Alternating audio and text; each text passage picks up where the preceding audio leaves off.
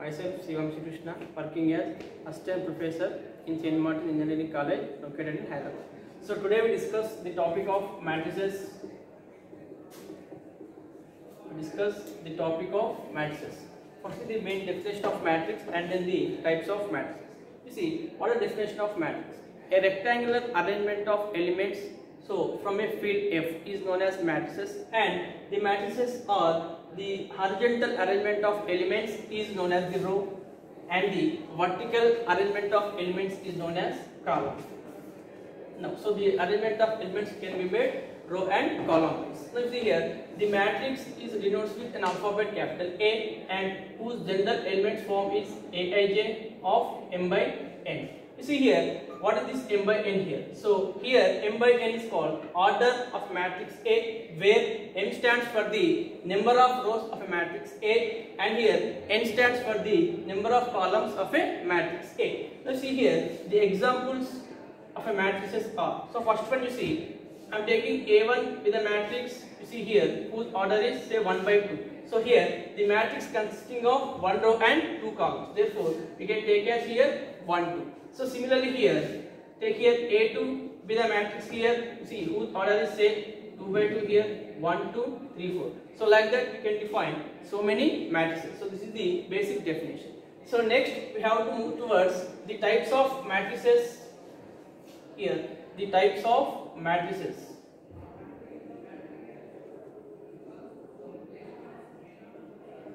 Types of matrices. So first one scalar first one is square matrix.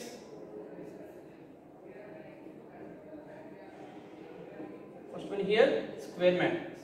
So what is square matrix? See here let capital A be the matrix elements of the form Aij see of order m by n. See here when the matrix is said to be square matrix the number of rows of a matrix is equal to the number of columns of a matrix then we can call it as that matrix is a square matrix. Now here the condition is if m is equal to n which means the number of matrix A the number of rows of a matrix m is equal to the number of columns n. So in that case the matrix A is said to be square matrix. You see the examples here square matrix here. A is suppose 2 by 2 so we can take as 1, 2, 3, 4. So here A is a matrix of order 2. Here number of rows is equal to the number of columns. So similarly we can take another example here say B say whose order is 3 by 3 like 1, 2, 3, 0, 5, 6 and 7, 8, 9. See here so B is a matrix whose order is 3 means the number of element number of rows is equal to the number of columns. So these are examples of square matrices. Next here, a rectangular matrix. Next here, rectangular matrix. Suppose let B be a matrix whose elements of the form Bij of m by n. You see here, what is the definition of a rectangular matrix? The number of rows of a matrix is not equal to the number of columns. Means the condition is if m is not equal to n means the number of rows of a matrix B is not equal to the number of columns. So in that case, the matrix B is said to be rectangular matrix. You see the example here. B1 is a matrix. Now I am taking as whose order is 1 by 3. Means the matrix B1 consisting of 1 row and 3 columns. It's like 1, 2, 3. Now similarly, we can define another matrix B whose order is 1 by 2 and C is a matrix whose order is 2 by 1 and D a matrix whose order is 2 by 4. So these are all the examples of rectangular matrices. Next see here.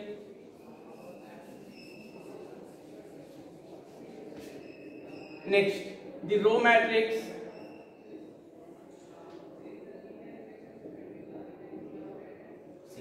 A matrix is consisting of only a row then the matrix is known as row matrix see here let C is a matrix whose elements of the form Cij now a matrix which is consisting of only one row. So what is the order of the matrix C here? 1 by n. So the matrix C is consisting of one row. That's why here the matrix C whose order is 1 by n which is known as the row matrix. See the example here? Taking C1 is equal to 1 2 3 one row and three columns. Like that we can define row matrices. Next here column matrix. Next here column matrix. No. So what are column matrix here? A matrix which is consisting of only a column. You see here d is a matrix whose elements of the form dij and here one column means we can get order of the matrix is m by 1 so d is a matrix whose order is m by 1 which is known as the column matrix. You see the example here. First one like d1 is equal 3 by 1 means 3 rows and 1 column. You see here 1 2 and here 2 3 so we can take as here. 1 2 3 means 3 rows and 1 column. 3 rows and 1 column. So similarly we can uh, define suppose E is a matrix whose order is 2 by 1 and suppose F is a matrix whose order is 4 by 1 like that we can define so many column matrices. So next. Here. Next the type of matrices is the next type of matrix is a. Transpose of a matrix. Transpose of a matrix. See here. Let a be the matrix whose elements of the form aij and so here of order m by m. Means we can take a square matrix here now here, how to define transpose of a matrix here A. Now here, we have to interchange the rows and interchange the rows or interchange the columns of a matrix. Now you see here, we can get a new matrix, say B here, whose elements of the form Bij and here we can get the order is n by m. Okay, we can get the order is n by m and the transpose of a matrix, suppose A be the matrix, then their transpose is denoted like this. A transpose or, or A dash or A dash. And we have some properties of transpose here. That is A transpose whole transpose is equal to A. And similarly A plus B whole transpose which is A transpose plus B transpose. And AB whole transpose which is B transpose into A transpose. So we have like the properties of a transpose of a matrix. Now based on this definition transpose of a matrix we have we have another type of matrix which is a symmetric matrix which is a symmetric matrix. Now see here, what is symmetric matrix here? Suppose A is a matrix of Aij of order here m by n. Now, whenever we can alter this A matrix is symmetric matrix, the condition is if A transpose is equal to A. A transpose is equal to A. Whenever the given matrix satisfies the condition A transpose is equal to A, then the matrix is said to be symmetric matrix. Then the matrix is said to be symmetric matrix. Now similarly, next skew symmetric matrix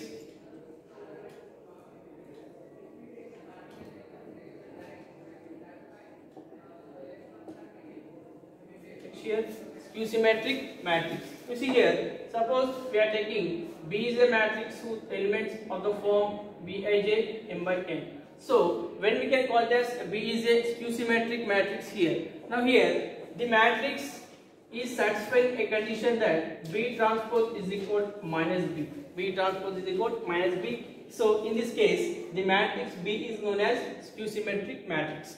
So based on these two definitions, we have an important theorem is that the every square matrix can be expressed as a every square matrix can be expressed as a sum of symmetric and skew symmetric matrices. You see here how we can get here. You see here let capital A be the square matrix here. Now we can write this as half into A plus A transpose plus half into A minus a transpose plus half into A minus A transpose. Now here, so where this part is known as for symmetric matrix, for symmetric matrix and this is for skew symmetric matrix. This is for skew symmetric matrix means that so every square matrix A can be expressed as sum of symmetric and skew symmetric matrix. So in that symmetric matrix is half into A plus A transpose and skew symmetric matrix is half into A minus A transpose. means that so in the question suppose given any matrix A suppose given any matrix A so how to find the symmetric matrix for the given matrix A so here the formula is symmetric matrix symmetric matrix which is half into A plus A transpose so for any given matrix A, skew symmetric matrix is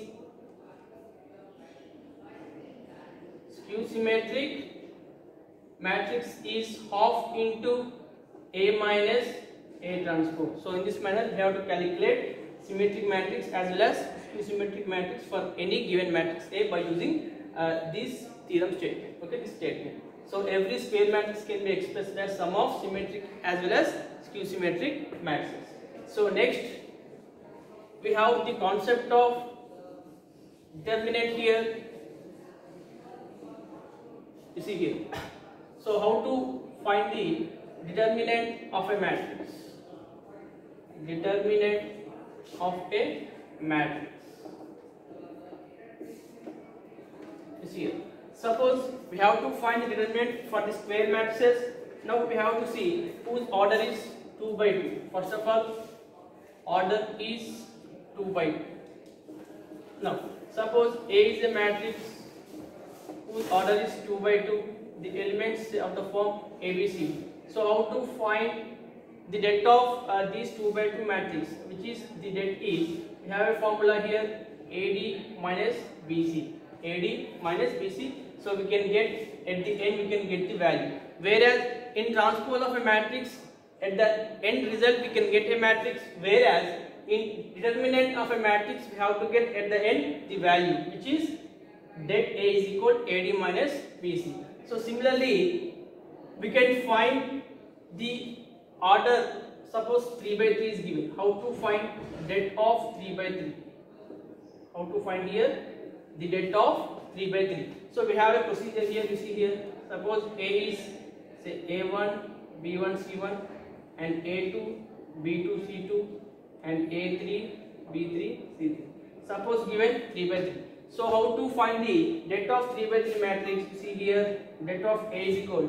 We can uh, consider suppose, suppose uh, this row. So we can take plus minus plus. So here A1 into det of B2, C2 and B3, C3 minus of B1 into A2, C2 and A3, C3 plus C1 into that of A2, B2 and A3, B3. So in this manner we have to find the uh, determinant of a matrix whose order is 2 as well as 3. Now, so based on the concept of determinant of a matrix, we are having two types of matrices. Two types of matrices. In that first one is singular matrix. First one is here singular matrix. Now so when the matrix is said to be singular matrix you see here the det of a matrix is equal to 0 the det of a matrix is equal to 0 in this case the matrix A is said to be singular matrix and here next one is non-singular matrix next one here non-singular matrix so whose uh, det matrix is not equal to 0, then we can say that the matrix A is here non-singular matrices. And next we have to move to the, the important concept here, inverse of a matrix. Inverse of a matrix. Inverse of a matrix. You see here, so, so suppose given any matrix A, how to find inverse here? A inverse is equal. We have a formula that adjoint of A by det A. Adjoint of A by det A and here this A inverse is existing whenever the value det of A is not equal to 0. Det of A is not equal to 0 which means that the given matrix must be a non-singular matrix. So given matrix must be a non-singular matrix. Then only that inverse of a matrix is existing and the formula to calculate inverse of a matrix is A inverse is equal adjoint A by det of A and all you know how to find the det of the any matrix as well as the adjoint of A. So here the inverse of a matrix is A inverse is equal adjoint A by det A. So these are types of matrices